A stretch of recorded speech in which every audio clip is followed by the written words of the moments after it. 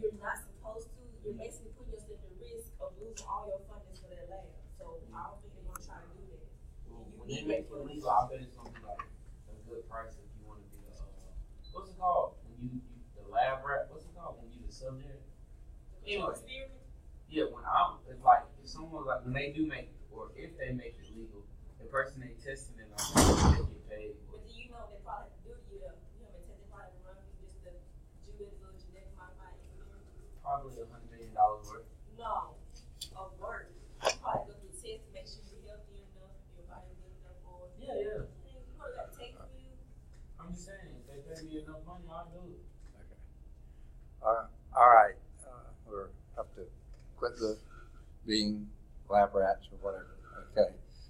Um, sorry that we're starting late, but the other class was finishing a test, and there'll still be students coming in periodically, turning those in. Did want to go over just the announcements. I think you've heard most of them before. All of these. I'll give you a couple more at the end. Remember, when if and when you're getting ready to graduate, please apply to graduate the term before you've scheduled to graduate so you can make sure everything's in place the term before so you can get registered for everything you need that term.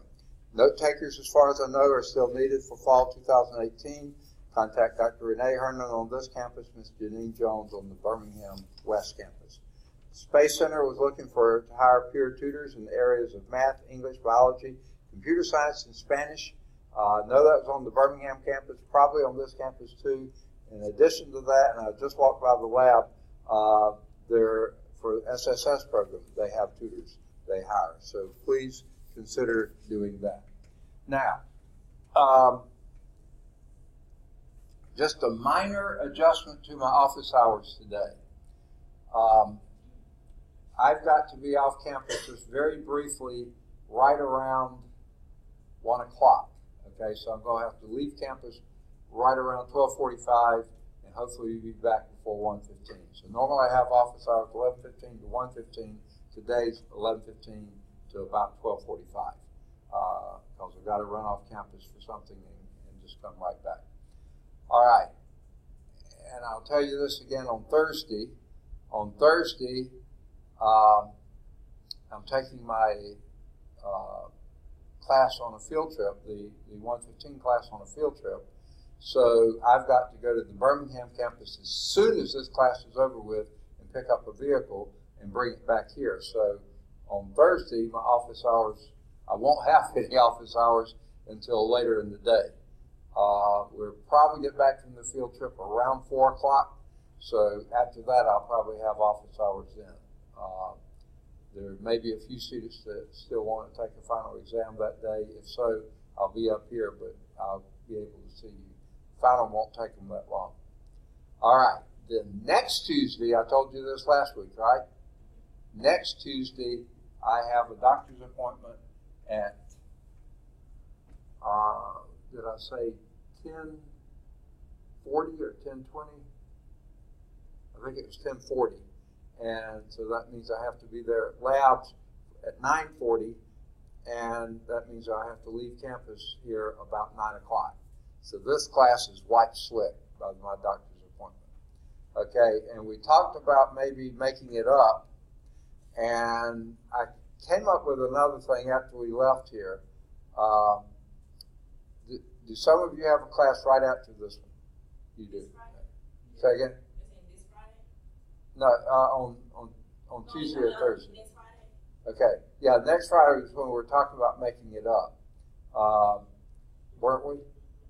Isn't that what we decided on? What's that? Making the missed class. We've never had it Okay, I'll be I'll be recording the class, so if you can't come, you'll still be able to hear the class. Okay, uh, but next Friday was the best time. Was that right? Or did you want to do it this Friday? Either one would work with me.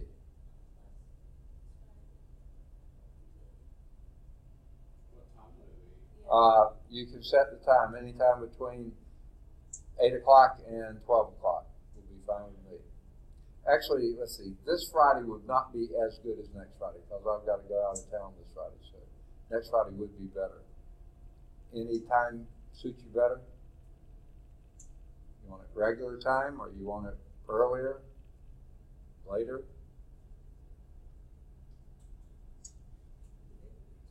I have no clue because I don't even have a class for. Okay. Yeah. You do or you don't? You I don't. don't. Okay. So you want to meet to meet you want to meet at eight or eight thirty, uh, nine, ten o'clock like this class normally meets. You name it and claim it. I'll, I'll be How long is the class? hour and fifteen minutes.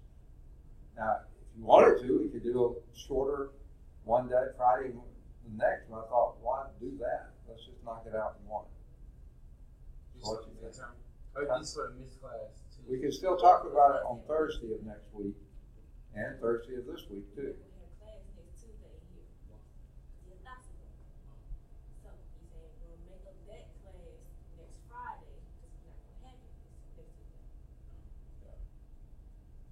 So we want to talk about it next, uh, well, Thursday or the following Thursday. Oh, We won't be here Let's till try to talk Tuesday. Okay, we'll finish up. So if you think about what time on Friday you'd rather do the class, I'll be here from eight to noon. Okay, Not this Friday, but the next. what's that? Not this Friday though. the next. Yeah, let's not do it this Friday because I've got to go out of town this Friday, and so I don't want to push it into, uh, you know, being so late that it gets into the time that I need to leave. So uh, next Friday I'll have, if we need extra time, you can have it because I'll be able to stay later. All right, let me. Also, I forgot to do this. In my first class, I forgot to mark the people who were absent. All right. I've got the four of you who are here.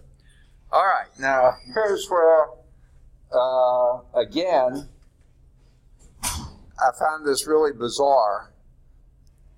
I had been teaching before from the DVD that came with the last edition. But this year I decided, well, let me go and, and because they don't send out DVDs anymore, you have to download them from the website, you know, the, the uh, PowerPoints. So I thought, well, I'll upgrade them and download from the PowerPoint. Well, I did that, and these are still just like the CD from last, you know, edition. They didn't update these. Did we do this one in class? I thought we did. The fire truck leaning against the building, we did that. Okay, that was example two in the old edition. Example two in the new edition is very different. This is on page 328. So is that where we're going to pick up today? Was that? I have it marked to example two, but I knew we had already done the old edition one, but we didn't do the one in the new edition, did we?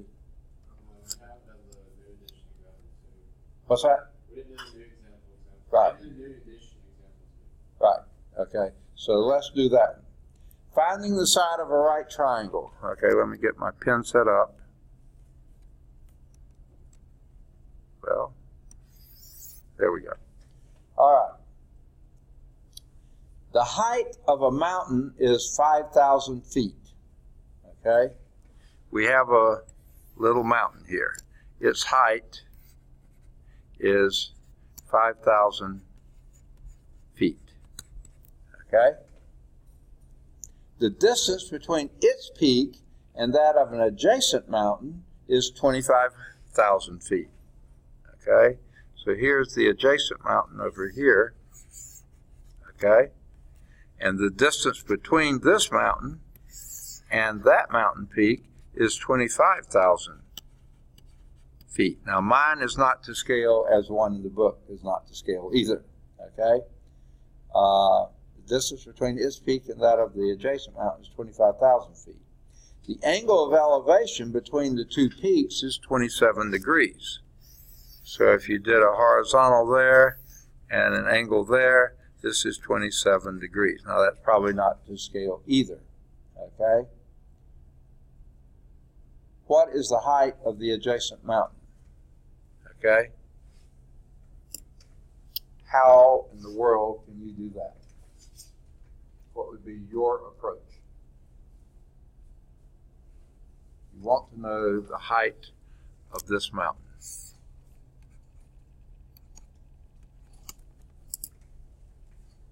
How would you do it?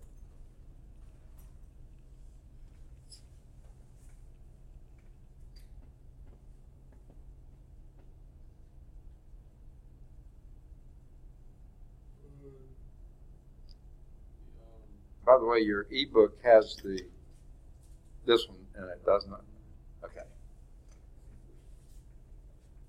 PowerPoints don't. Okay. How would you do it? You were starting to say something. I don't know. So you have the adjacent side, Okay. Yeah. You know the adjacent side is twenty-five thousand feet. maybe some angle. So you could find.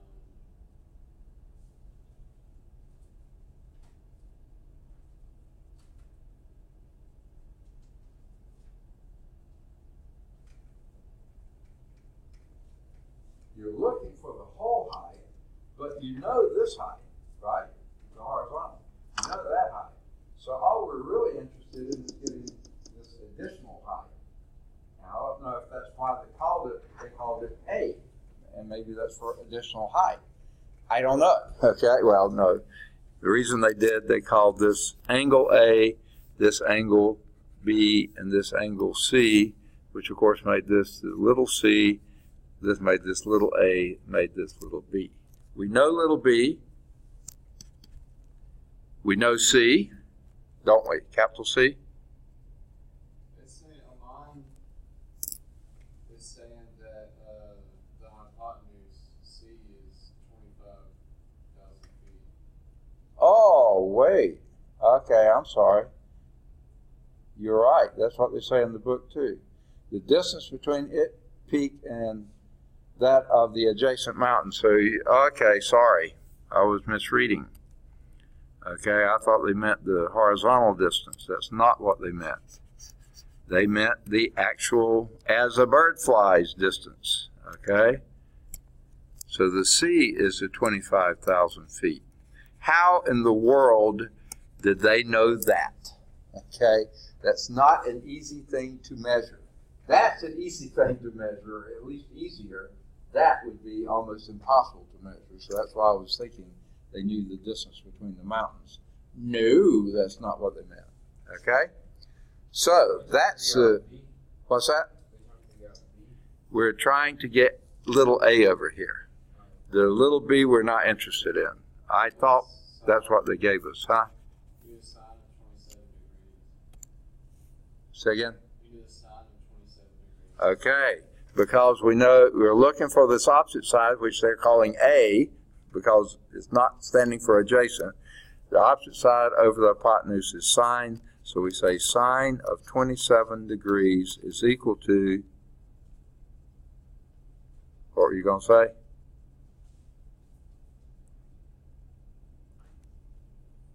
Sine of 25, 27 degrees is what?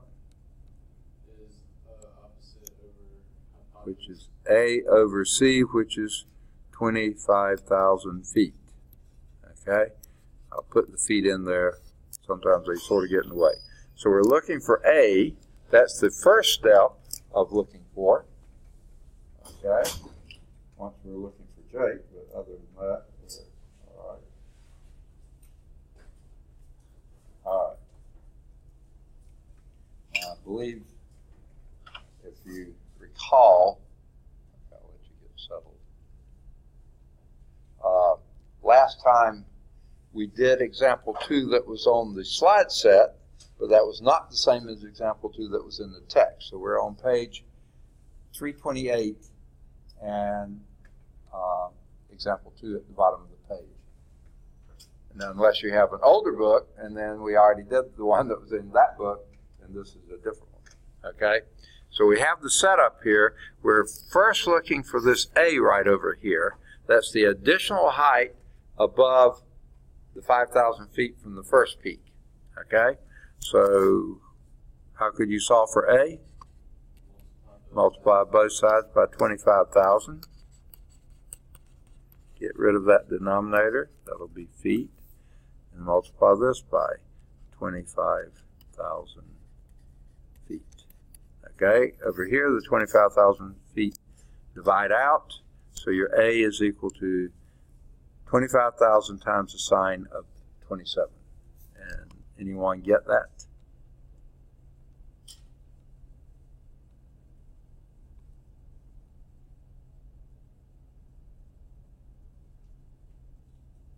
Uh, eleven thousand three hundred forty-nine point seven six. Okay, let's say eleven thousand three fifty. Does that sound okay?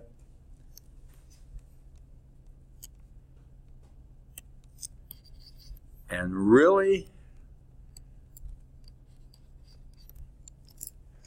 the way they give these numbers, it looks like all the significance is in the nearest thousand feet. So in a sense, I would even accept eleven thousand feet as that A. And then what do we do with that? Add the five thousand to it to get the height of the second mountain. So you could either say sixteen thousand feet, or you could say sixteen thousand three hundred and fifty feet. Uh, either one of those, I would say is fine, and that's what they did. They counted the, the three fifty, so, uh, sixteen thousand three hundred and fifty feet. Add to that A, which is eleven thousand three fifty feet add to that the 5,000 feet here. There certainly is not the scale. Thank you so much.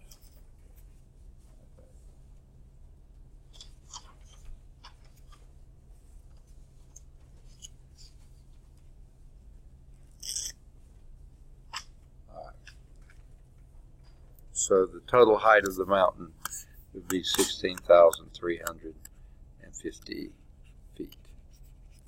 Okay, so that's the answer they were looking for. Does that make sense? Guess I'll put my feet in here too. All right, there is a checkpoint. I highly recommend you do the checkpoints as soon as you can after class is over so you can uh, move along. Okay. Here's Chris, right? Chris? Yeah. All right. All right. We just finished the example two in the book. Example two in the slide set we did last time was from the previous edition. Even though the slide set I pulled off of the current, they evidently didn't update the slide set. All right, that done. Let's move on to example three if they have it. No, they don't. So we'll go back to where we just were and do example three. Can I erase this one? Yay or nay? Anyone still writing? Got it? Okay. So let's erase this and do example three. Since they don't have this on the slide set, I, I this was from the other slide set as well. A point 200 feet from the base of a build at a point 200 feet from the base of a building, the angle of elevation to the bottom of a smoke, smokestack is 35 degrees, whereas the angle of elevation to the top is 53, as shown in the figure. So let me see if I can sort of draw the figure. There's the building.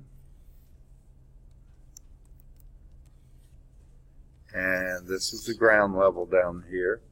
And you are 200 feet from the base of the building. So 200 feet away.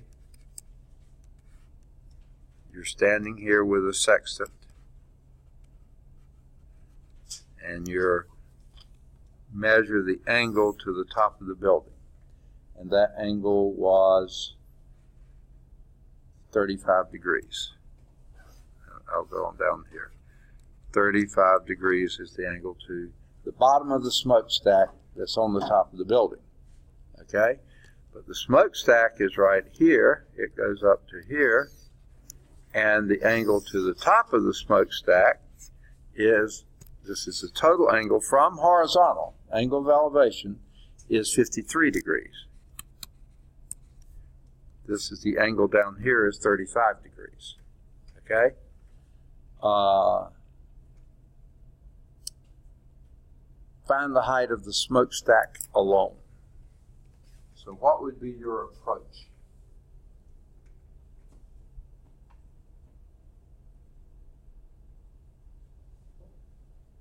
What would be your approach?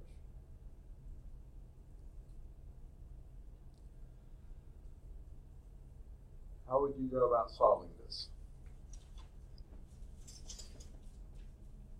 So we trying to find out. Second? We're finding the height of the smokestack, not the building. Is that what you said? Well, we, that's what we're looking for is the height of the smokestack alone, without the building included. Okay, yeah. Smokestack from top of the building to the top of the smokestack. So in effect, the reason I didn't want to say yes or no to that, we do need to know the height of the building, but not to answer our question, to be able to get to our question. Okay? So what were you thinking? Find the. Uh, Find the what? What do you call it? How you couldn't hear? You find A from the bottom angle. Okay. Uh, oh, you said the bottom angle? Yeah, okay. In the text, they list the building as being height A. And now I see what you mean. And then they list the smokestack, that height as being height S. Okay? So you're saying find A first. How do we find A? Second? How do we find A?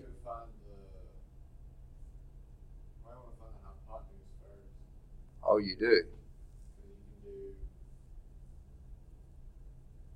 cosine of fifty-three.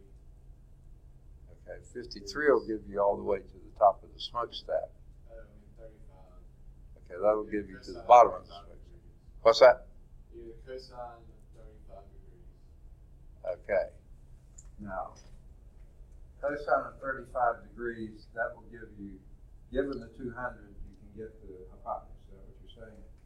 Okay, I can tell you like to work hard, don't you? You're a hard worker. And that's admirable. I'm just a little lazier than that. Anyone want to be lazy with me? Uh, how? Uh, I'm ready to. How, you're lazy? Yeah. How do you want to do it? Oh, I was, I thought you was do it. Could you use fifty-three degrees for the angle and then find the hypotenuse of that shape using the cosine? Yeah, you're really big on the hypotenuse, aren't you? Do you Here's what I'm looking for. You'll find Right. First? Here's what I'm looking for. A, I know this and I know the angle. So the question to ask yourself, what relationship relates this angle, 35 degrees, to A and to 200? Uh-huh. Sine, you need a Uh, tangent. Oh, tangent, that's it. And what's that relationship? Opposite over, opposite over adjacent. Okay, tangent of 35 degrees would be the opposite, and what would be the opposite here? A over the adjacent, which would be 200 feet. All right, I think we can get A then. What would that be? How do we get it? Multiplied by both sides. Multiplied by 200 feet, right? Both sides. That wipes out the 200 feet there and leaves us A is equal to 200 times 10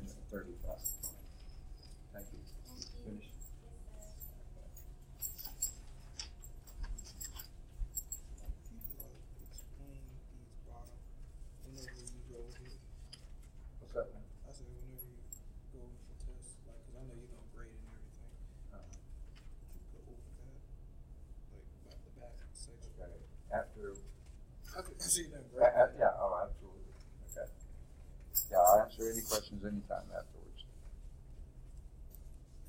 I'll answer anything from the book beforehand. Okay. All right, so that gives us A is equal to 200 times the tangent of 35 degrees. Okay, and how much would that be? Anyone done it yet? By the way, be sure you're in what mode? Degree. Degree mode, okay? what would that give you? The height of A, which is not what we're looking for.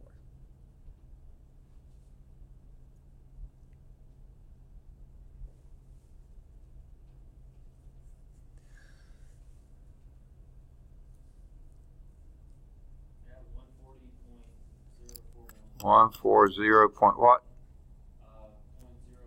Zero. Okay, let's just leave it 140 feet.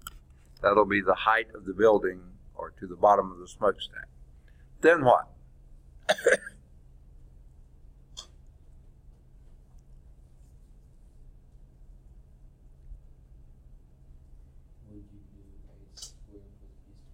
Say again? Okay. Okay, you're still okay. You like to work hard too. You're still trying to get that hypotenuse. Do we need it? Only if you're going to do a guy wire there and do a slide down the building or something. What do you call those? Something lines, uh, zip lines. I don't think we are going to do that. I'm not going to do that today. I'm no zip liner myself, so I'm not interested in that hypotenuse. What are we interested in? Yes, S is what we really want. A, we needed to know why.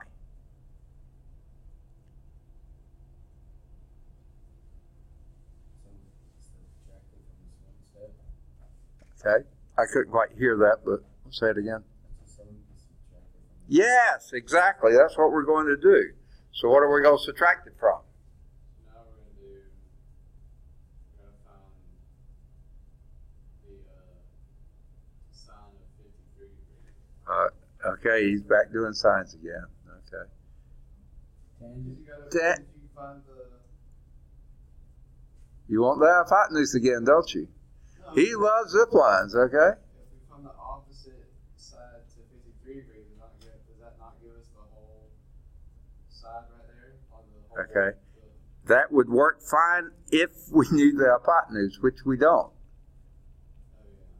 We only know that adjacent side. So, it'll be tangent again, and this time it'll be tangent of 53 degrees is equal to what? A plus S. A plus S over 200 feet, right? And again, we multiply both sides by 200.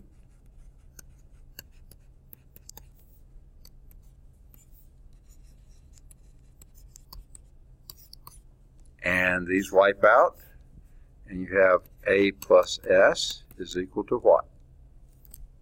200 times the tangent 53 degrees.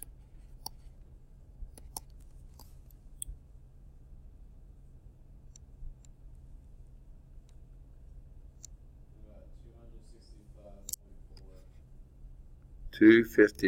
point four. 255.4, so let's just leave it 255 feet. Okay? Now that's the total height, A plus S. So what do we do now? It was two sixty-five feet. Second? It was two hundred sixty-five feet. 255? 65, I can't hear, okay. 65 feet, okay? And then what do we do with that? Subtract A from this, and A was 140 feet. Okay? So that leaves us S is equal to what? 125 feet. So that's the height of the smokestack. They carried around the point four, which I don't think they have legitimate reason to do. Okay. Uh, but you get the general idea. Now, their building may be a bit better to scale than mine. I have my smokestack a little too tall. Okay. All right. You see the procedure? I disagree that they can have enough significant digits going into it to get four significant digits out of it, but that's just a minor argument. 125 feet is good for me. All right, there is a checkpoint after that one. I would highly recommend you do that. Any questions on this? How we did it, why we did it? Make sense? Okay. Let's move to example four, which also is not in the slide set. So I will, all right, to erase. Okay. Here's example four finding an angle of depression. Okay. A swimming pool is 20 meters long. Okay. I'm going to try to draw this a bit more three dimensional than they did. Okay, there's the top of the pool, and this is a 20 meter length pool. Okay? And 12 meters wide. Okay? The bottom of the pool is slanted so that the water depth is 1.3 meters at the shallow end. Okay? Going down to 4 meters at the deep end. Okay? And then blocks off like this, and there's hidden lines back here. And there's a hidden line that goes back there somehow too. I'm not going to mess with that. Okay.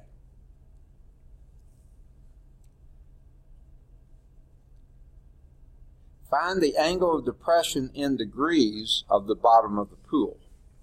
So in other words, from the horizontal, which there is no real line here, but that's what we're using as horizontal, this is the angle we're looking at. Uh, what you want to name it? You can theta, okay. Everybody's favorite most of the time. What is that angle of depression? In degrees at the bottom of the pool, of the bottom of the pool. Okay.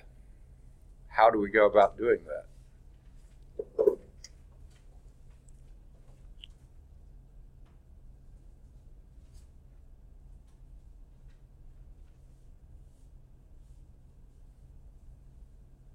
Any suggestions?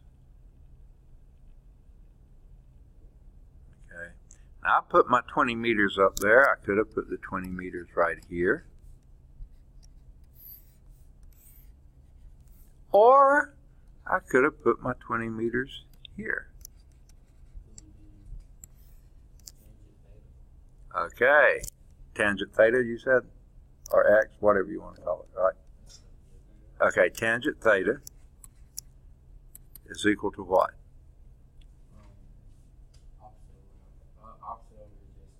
Opposite over adjacent again. What is your opposite here, though? Huh? No, that's the adjacent to this. Is that 4? 4 goes from the top to the bottom. So of that angle, what's the opposite? Again, this is 1.3 meters to here. The total is 4. 2.7 meters. Yeah, that's the adjacent side. So that's 2.7 meters divided by 20, the adjacent side, meters. Okay? Of course, the meters go out because tangents are pure numbers. They don't have units with them, so it's good for the meters, the units to go out. So you have this is equal to, um, you do the math and see what you get.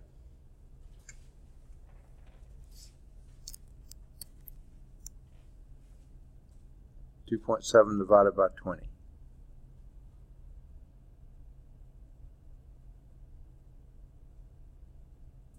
Pretty small number, right?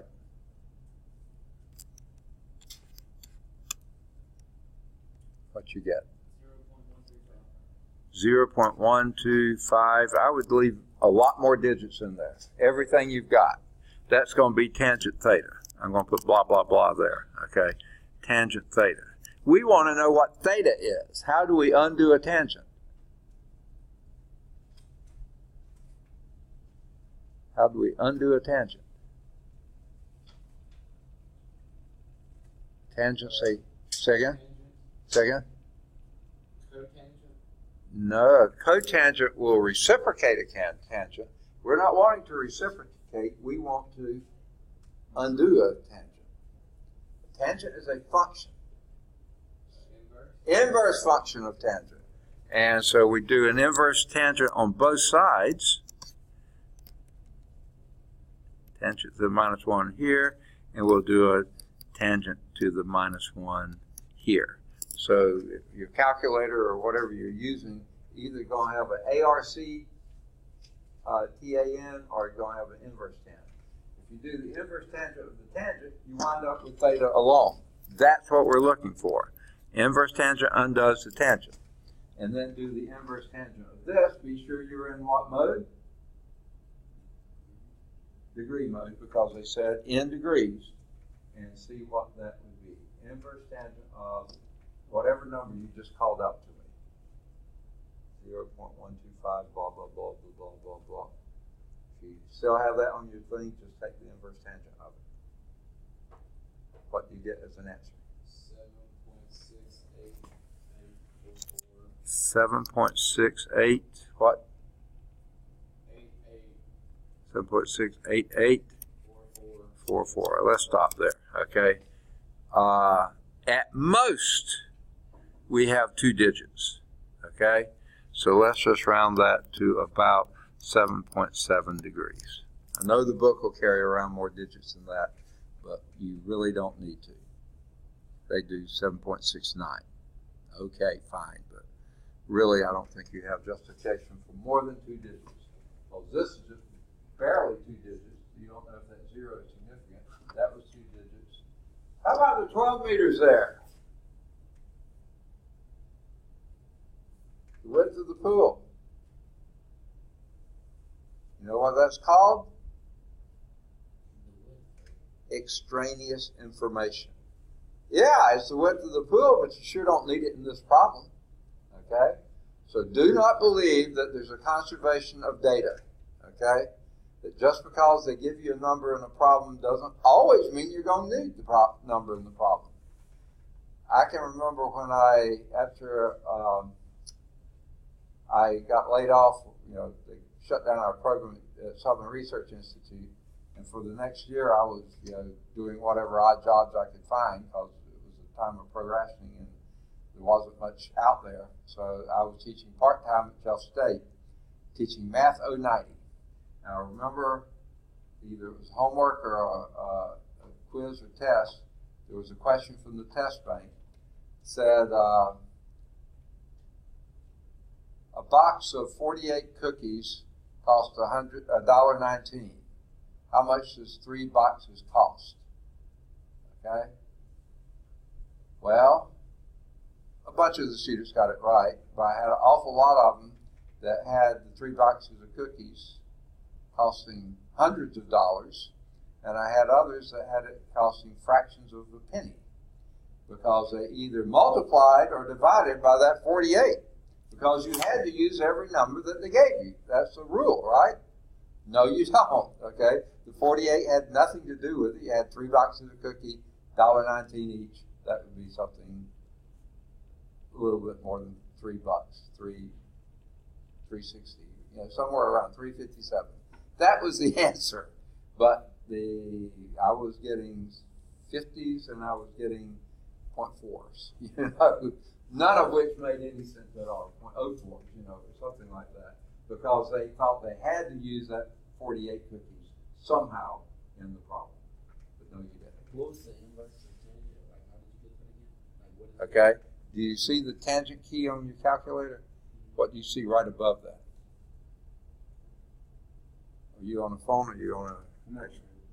Phone, okay. I don't know how it looks on the phone. I think you have to turn your phone sideways to get tangents, don't you? Oh, I don't know. I had this app on Windows or regular calculator. What's that? I, I have like an app. Okay. All right, but tangent is square root of y. Second? Y square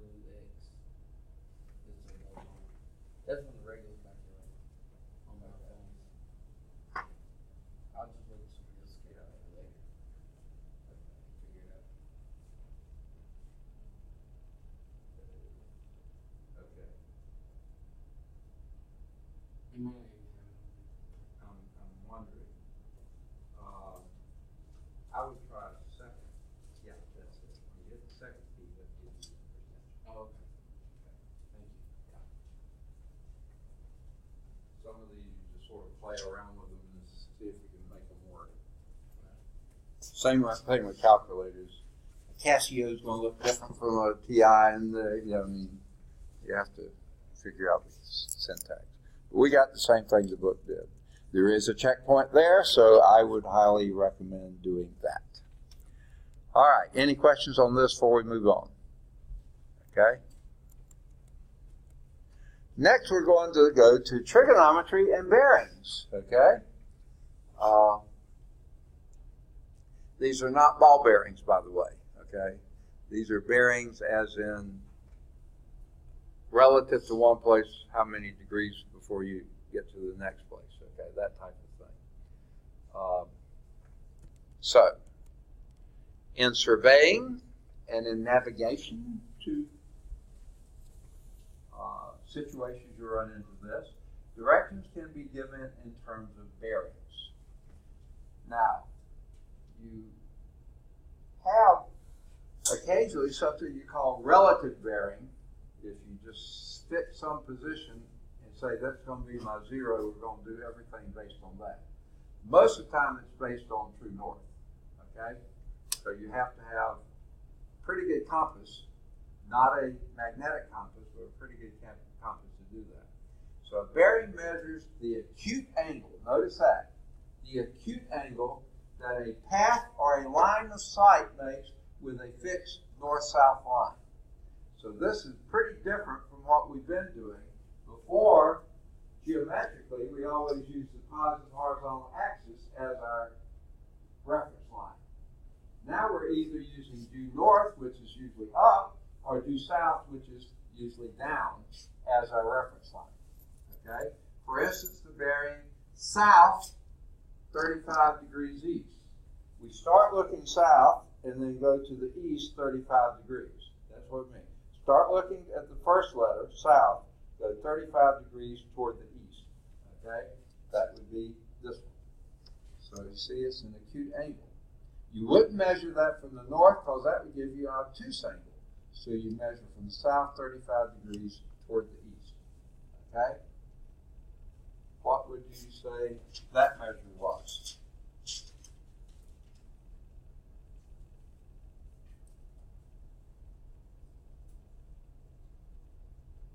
How would you read that bearing? This one here. Northwest, eighty degrees. Okay, north 80 degrees west. That's how they say it. North 80 degrees west. How about this one? North forty-five degrees east. Perfect. Way to go. Okay? So that's how they give these. You start with either north or south, and then how many degrees toward either east or west. Okay? And that will always be an acute angle.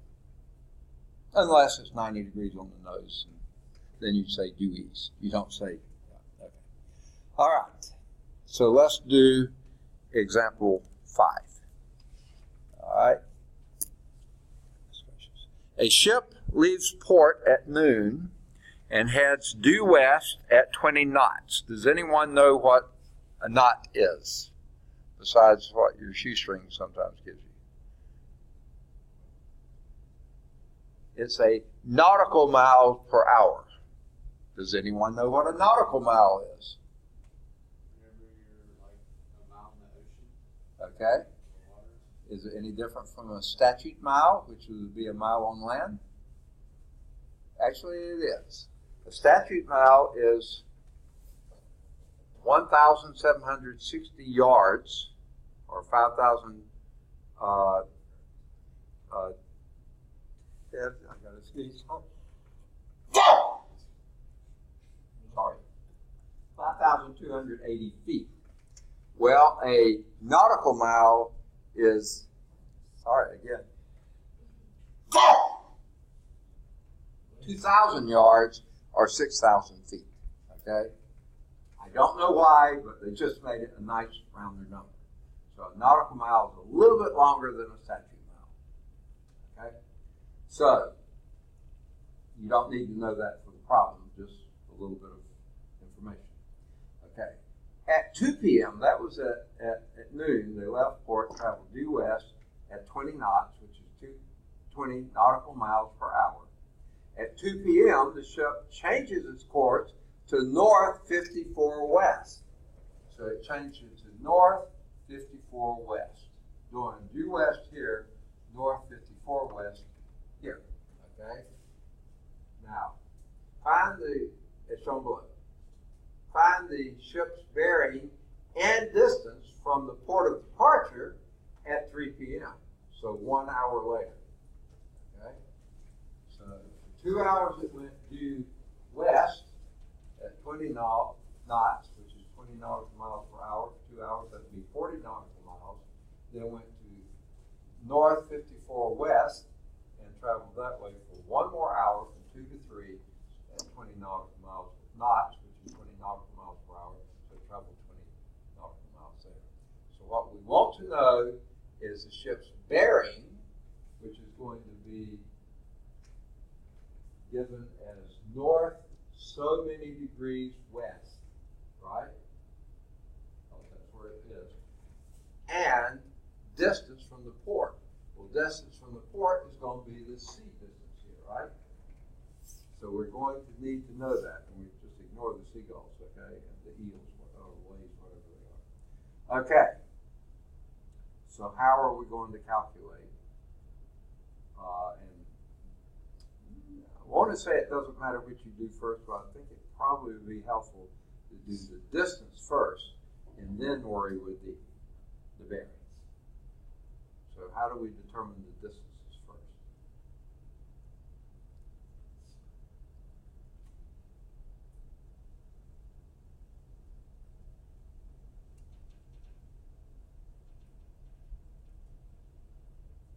They've given you a pretty big hint here without telling you they did.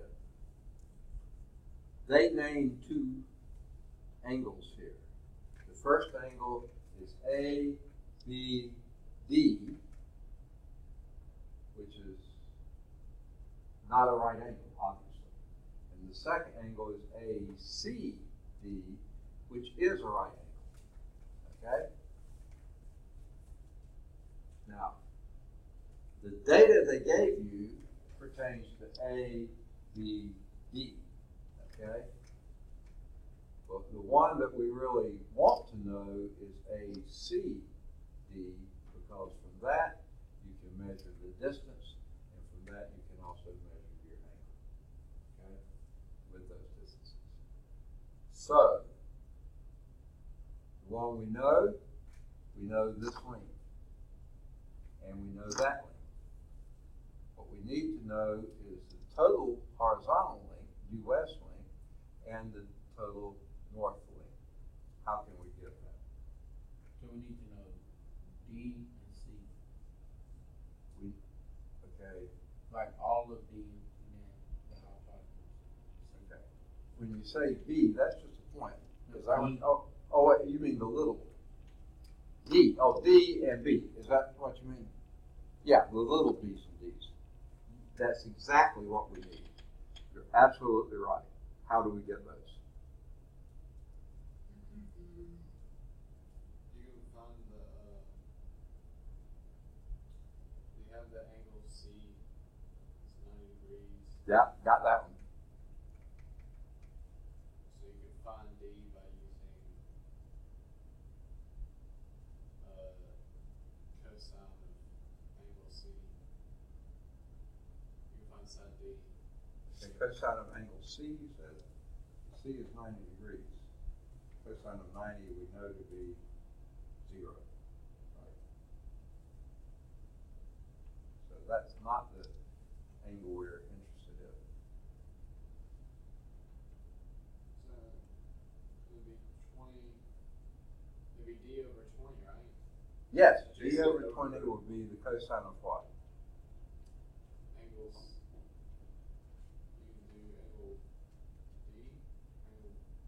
C, right? Okay. C is the 90 degree.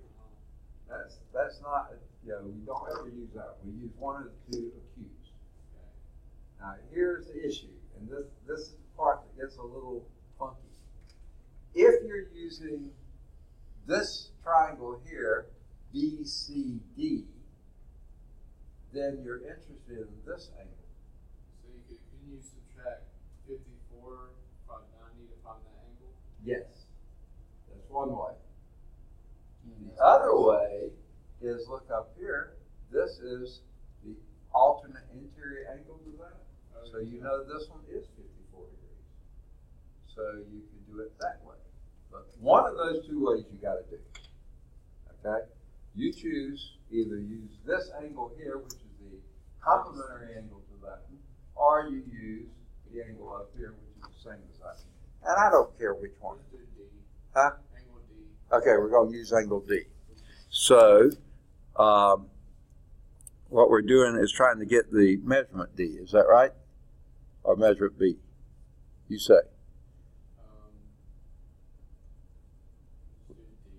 D, little d. Okay. So how does and and this angle here? I'll go and draw it in here. This is also 54 degrees. Do you see why that's true? These are parallel lines here, and that's a transect across them, so the alternate interior angle are the same. Okay? So, what can you tell me about the relation between 54 that we know, D that we're looking for, and what is the one other thing we know? Hypotenuse. Hypotenuse. Okay, so now we're back to one you like, right? What would that be? Sine. The sine of 54 degrees will be d over 20. That's 20 nautical, nautical miles. Okay? So, what would d be? How do you solve for d? Multiply both sides by 20 nautical miles. Itchy nose. 20 nautical miles. Okay. Those wipe out here. So 20 times sine of 54 is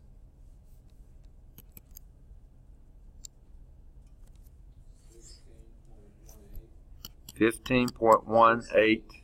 Let's just, I want to just call that 15 miles. Can we just call it 15 miles? I know the book is going to do probably a lot of digits too. Okay, 15 miles. You don't want to call it sixteen? Oh, what did you say it was? Oh, 16.1. I can't hear. Okay, sorry. Okay. The old deaf guy here. Okay. 16 miles. Nautical miles. Okay. Goodness, my nose is itchy. All right, so now we know our full length AC. That would be your 40 plus 16. So that full length there is 56 nautical miles. Okay? So that gives you that length. What else do you need? B. Little b. Now, how will you get that? Use Pythagorean theorem. With which? With the uh, this, that, and that? Yeah, absolutely. That's one way you can do it. Um, or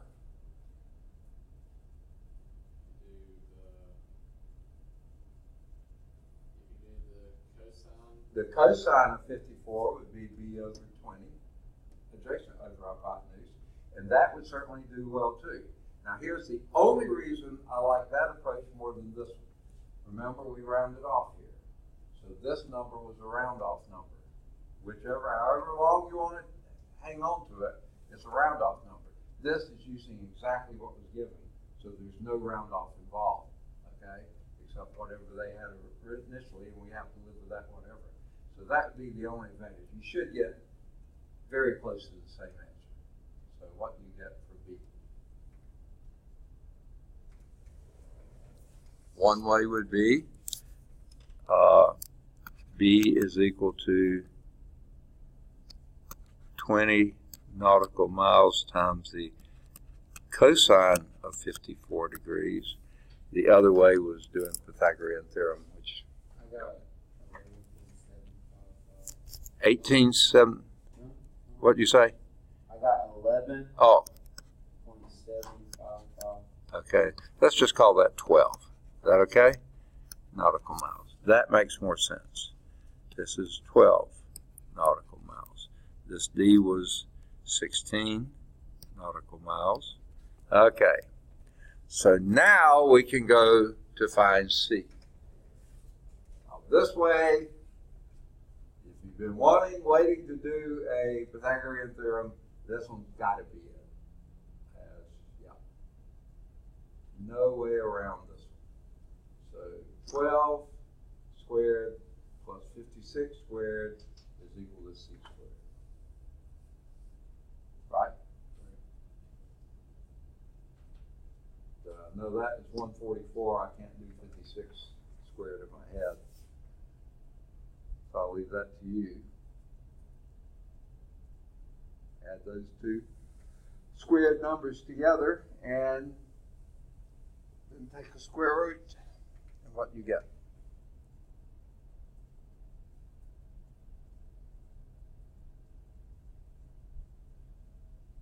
Twelve squared plus fifty-six squared equal what, something, and then take the square root of that.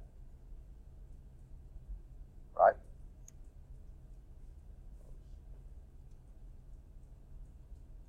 I don't know, what would we call that?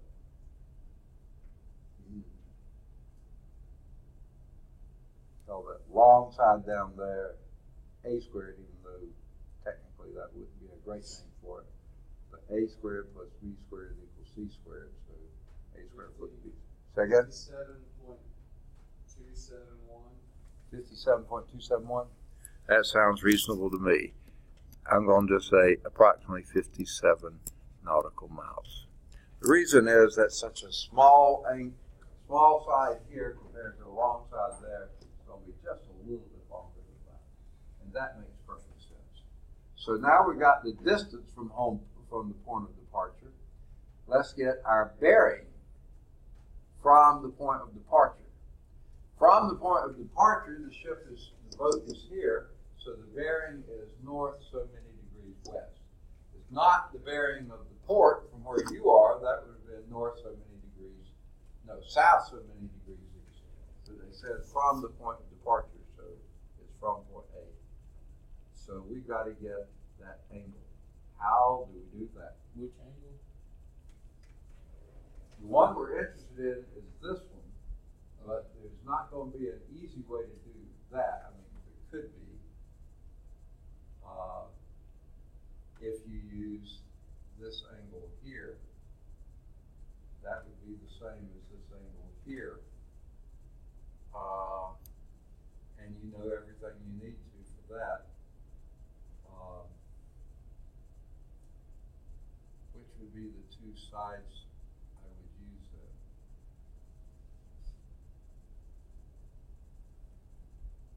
If you did this one, I would use B and this one close. At least you had something that was already there. So I would do the inverse tangent of fifty-six over twelve. That's one way to do it. I think that would probably be the best way, because this involves at least two round offs to get there.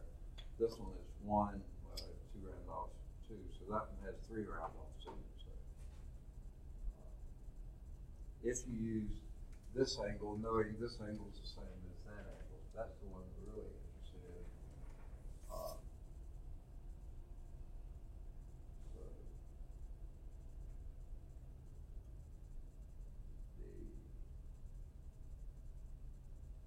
The inverse, okay. Uh, the tangent of this angle here is equal to fifty-six over twelve. Then get what? The arctangent of that is. What you get?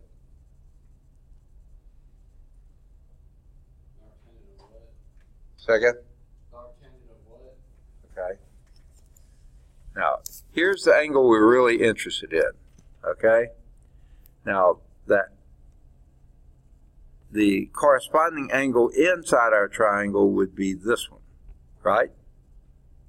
Because these, again, be alternate interior angles of these two parallel lines here, the vertical lines here, and there's your transect. So if you get this one, now that's not 54 degrees, that's this one. So the, what do you want to call this one? Theta, all right. So this angle here we'll call theta, and we'll say the tangent of theta is equal to the opposite side, 56 nautical miles, divided by the adjacent side, which is twelve nautical miles. Sorry, we're not using our hypotenuse, okay? We could, but that was a calculated measurement. This was also, but didn't use, use fewer calculations to get there. So that gives you something that's on the order of four point something another, and then do the inverse tangent of that, and you'll get the angle theta. 56 divided by 12, and then do the inverse tangent of that number. And what do you get?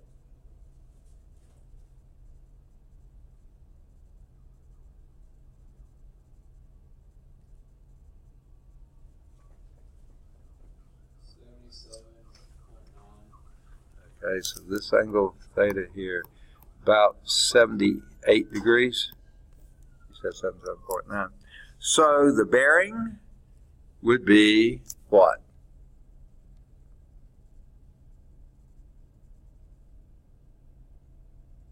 Of the ship from the point, port. How would you give it?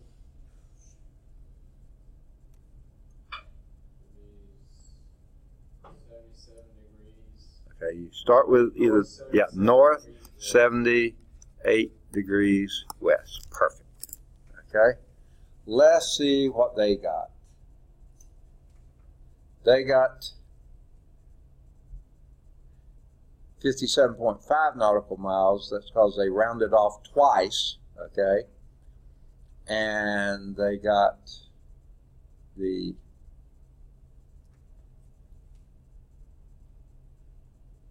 Wait a minute.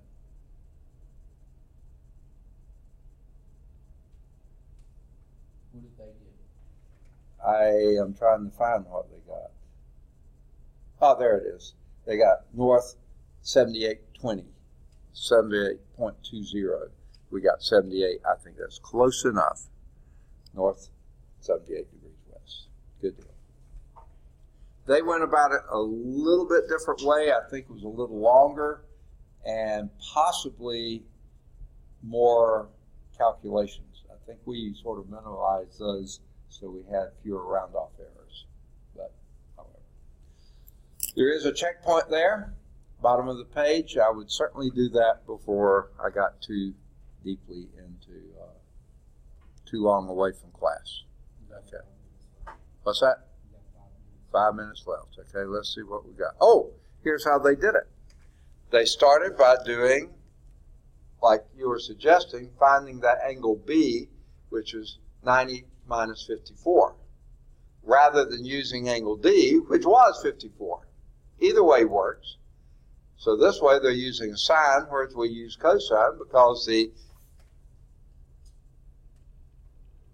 uh, complement, the complement, the complement of an angle is the complementary.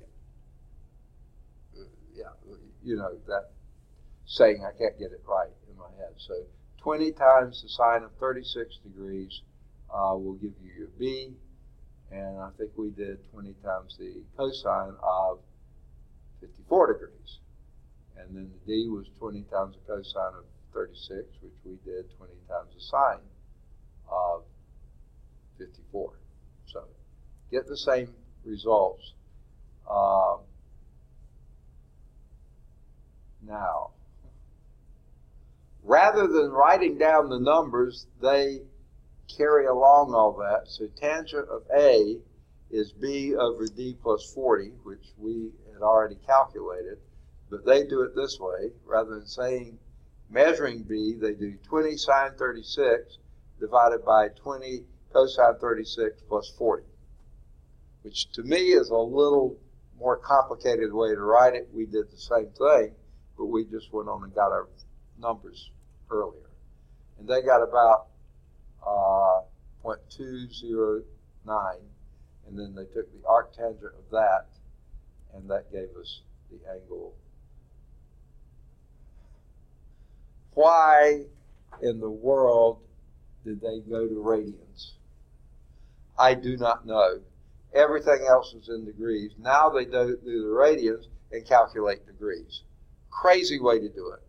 They got eleven point eight two. We got twelve, didn't we? Well, we didn't actually do it this way. So that gave them eleven point eight two. Then they have to subtract that from ninety to get a complementary angle and got to seventy-eight point one eight, which we got seventy-eight. So yeah, we got the same result by going a slightly different way, but everything was consistent. Okay? So the bearing is north 78 degrees west. Exactly what we got. Now, to get the C, oh boy, they said that was B divided by sine A.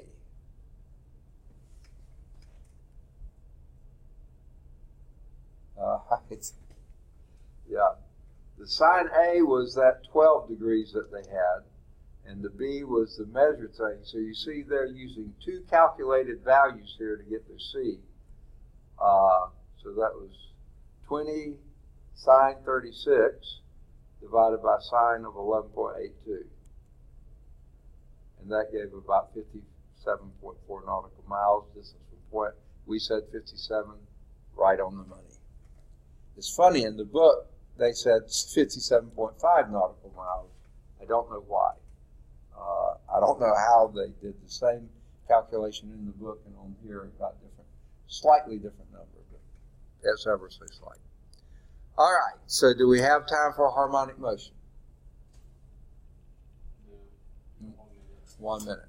Okay, let me give you some homework assignments here. So let me first mark my place so I won't be lost next time. Okay, and we will be right there with harmonic motion. And really have very little left in the ch- uh, section, just uh, one page and two examples. So homework exercises here. Do any of the odds 5 through 11, they're all at CalcChat.com. Um, nines at calcview.com. Do any of the, uh, either 13 or 15, they're both at CalcChat. Uh, 15's at calcview. Do any of the odds 17 through, goodness gracious. Wow. 43. Any of the odds 17 to 43, they're all at CalcChat. None of those are at CalcView. And we'll stop there and pick up harmonic motion next time. Now, as an extra bonus, because y'all are such great people, I did bring in the uh, the second test. So if you want the second test, you got to jump on it. You can have it. Uh, after we finish this, then you'll have a full week uh, to do it. So this gives you a little bit longer than a week. So if any of you want that before you leave, I'll be glad to give it to you. What's that? The second test is on this, right? I can't hear The second test is on this. On 4.5 to 4.9. Uh, 4.8. We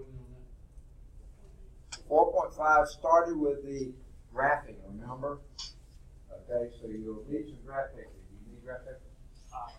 You have some? You need graph paper? There's nine to graph. You need graph paper? I got some if you need it. Need graph paper?